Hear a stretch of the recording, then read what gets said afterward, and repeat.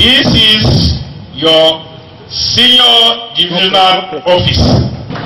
Mr. Senior Divisional Officer Um de Joseph.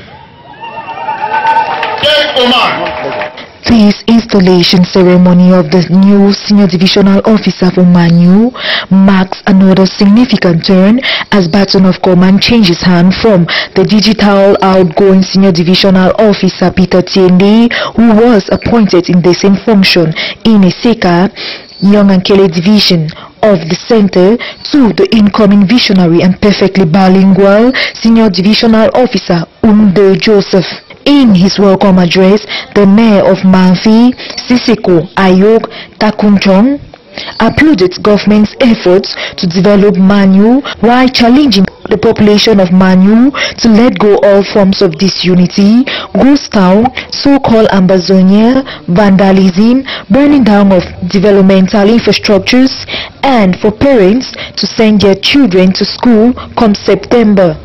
The governor on his part while installing the newly appointed SDO, Mr. Umdo Joseph, reminded him that Manyu is a border and one of the oldest division in the country, thus require continuity and great initiative to solve existing problems like fighting against the growing phenomenon of contraband goods, criminality and highway banditry, violence, supervised government projects, AMAC, amongst others.